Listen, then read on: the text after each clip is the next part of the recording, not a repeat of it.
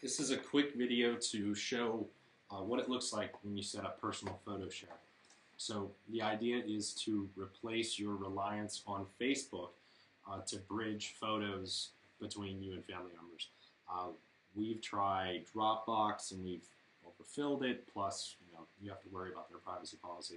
Facebook and you have to worry about their privacy policy, as well as people not having Facebook accounts. Uh, so I figured everybody has email. Email is probably the most universal way of bridging people. Plus, I like having my photos be mine instead of uh, anyone else telling me what to do with them. So what I did is I set up a server and I started building this personal photo sharing site. And so it's a pretty basic Drupal site. It just comes with two views, some minor flex slider configuration, as you'll see here. Um, it's mobile friendly. This is a mobile friendly theme, so you can scroll in from the sides, uh, which is nice.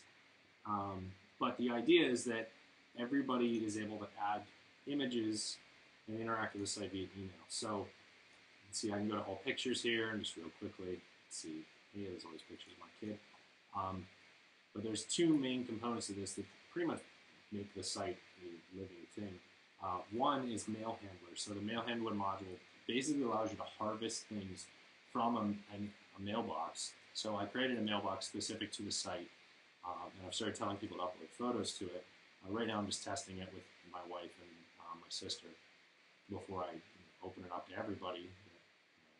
Um, the second part is the subscription module. It's subscriptions. We got subscriptions. So basically, I make it so all new content is automatically subscribed to by all users. You must have an account in order to use the site, and then I would tell them the email address, and they can send email. And as long as they send email from a matching uh, email address, it'll harvest it in and add to the site. So let's see if the new photo that I submitted via email comes in. So I'm going to run the cron. And then on cron job, it will download it if the email address is matched. So this is how you avoid getting your site spammed as well.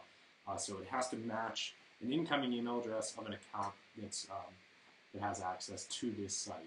Uh, and so you'll see mailbox photos is checked to contain one message. I know for a fact there are three there, which means two of them are junk mails. Um, it created one node, a cron successfully. So if we go back home now, there's this new picture that I submitted. You'll see it says Sleepy Little Blob, Mason, first few weeks, and Boppy. Um, it adds it in to my old picture stack. and You'll see it's an image cache. You go to it. Um, now it's automatically subscribed to. So the two, you know, two photo content. Uh, everyone is subscribed to this. So now, because cron ran, um, it sent me an email saying, hey, there's new pictures on the site. Here they are. Uh, I'd like to get it a little more user-friendly so it actually just has the pictures in it so people don't have to log in to go to it. But this is, so far, the solution's working fairly well. I actually saw my wife go to it the other day um, and pull out pictures. Um, part of the issue with Dropbox was we were hitting the limit and we didn't want to pay a ton of money for Dropbox. Um, so I'm going to start opening this up to other people I know, but it just has some very basic you know, Lightbox defaults. So he's riding a pumpkin. This is a goofball. Um, some very simple Lightbox defaults, flex slider, um, but the, the main things to set up are the uh, an email address, and as long as you can email to the email address, you basically have a private site, because if I hit this web address and I'm logged out, I get nothing. So that's it.